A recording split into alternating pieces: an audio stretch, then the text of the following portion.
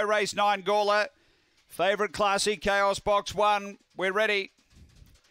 Racing, Classy Chaos fired out is going to pinch a couple of lengths early and get away. So Classy Chaos by three. On Sutton Daisy, Dakota Hummer improves. Then Emily Sharon and Cosmic Kid, but off the back, Classy Chaos away by four. Dakota Hummer doing the chasing. Three to Sutton Daisy, but turning. It's Classy Chaos clear over Dakota Hummer and Classy Chaos. Too good the fave today. Uh, second, Dakota Hummer, and third is Sutton Daisy. A gap away, Cosmic Kid, I reckon, will grab fourth, and Emily Sharon Sharon uh, wasn't too far behind it. The time is really good 22.53.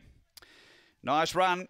Classy Chaos. Back to. Uh, some really good boxing today. Was able to zip through and have a, a, couple of lengths to spare early and just extended from that point. 186 and 2. Classy Chaos number one for Ben Rawlings. Uh, second going to eight. Dakota Hummer for Colin Symes. And third to six Sutton Daisy Angela Modra. It's 1862 after race number nine here at Gawler Greyhounds.